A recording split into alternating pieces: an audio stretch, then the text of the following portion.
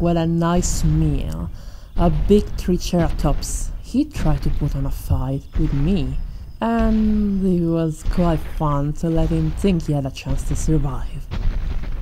Ah, I just had to push him to the ground and put my huge foot on him to keep him there, beneath me, right where he belongs, where every other beast belongs.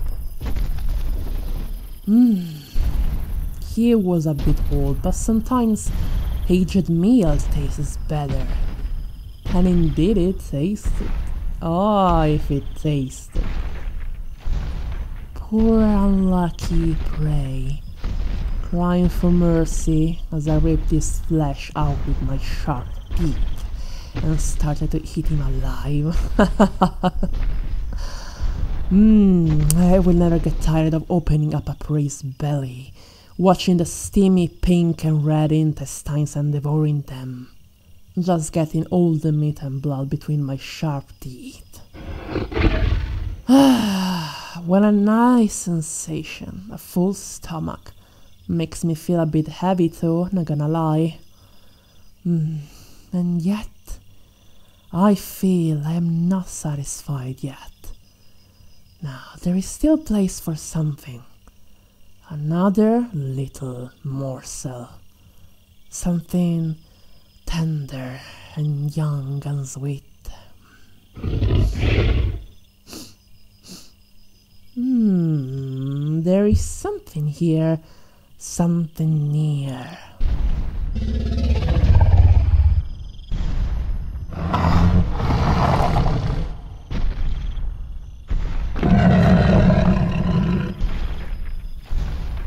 Oi, oi, oi, what do we have here?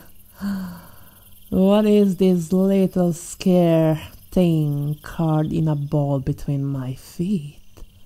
I almost stepped on you, little one. Mmm, you look delicious. What's going on? Are you a cub or an adult? Can't tell. You're just so small. hey, hey, hey, where do you think you're going?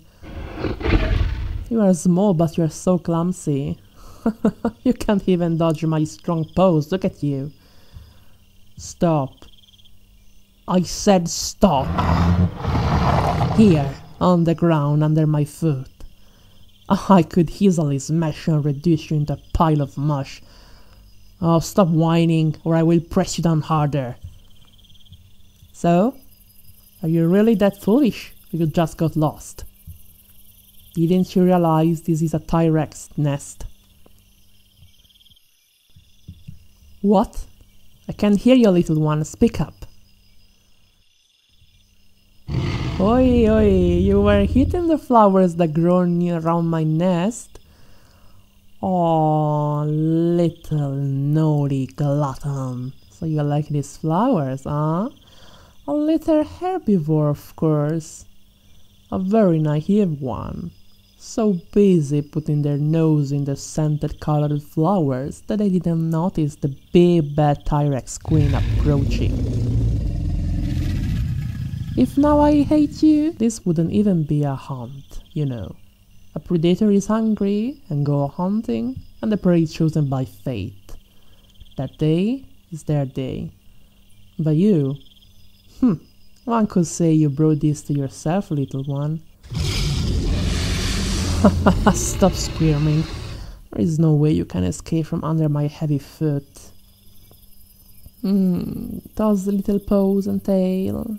I pity you. Didn't your mama told you it's dangerous to wander so close to the T-Rex lair? The sweeter the flowers in your mouth, the sharper the teeth that will devour you.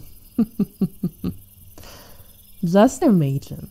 I would chew you, soak you with my spit and my giant strong tongue. You would hop between it and my palate a few times before I masticate you.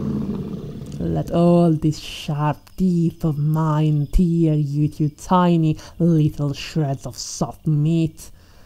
I bet you're very soft and tender. Mm. Your flesh would melt on my tongue. Or maybe I could just swallow you whole. Yes, and make you land in my stomach while you are still alive, so that my belly will be even more round and full. Just what I needed, a little less morsel after an abundant feast. You are like a sweet dessert that makes the day complete. oh, are you crying, little one? Squirming so adorably, trying to escape from my large foot pressing you to the ground among those delicate flowers you like so much. Hmm? Don't you like it now? You're so small. You were made to be toyed with by a big, strong alpha predator like me. Even baby T-Rexes are bigger than you. are you scared, little one? Look at my big sharp waiting for you. Aren't you even more scared now? I just have to know how you taste though. But you're just too cute. I don't want to hit you immediately. Mm.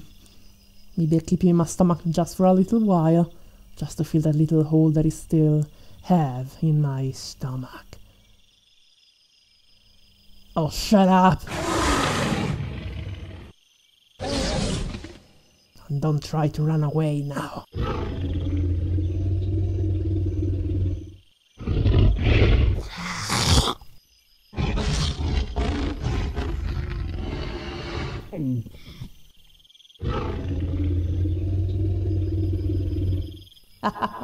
Even smaller than what you already look. You are really a itty bitty some little flower eater. You even smell like these flowers. The only time I actually appreciate something that is not meat. Hmm. I can feel you shivering and squirming in fear even now in my stomach. Don't worry, little one. Mama T-Rex is not done playing with you.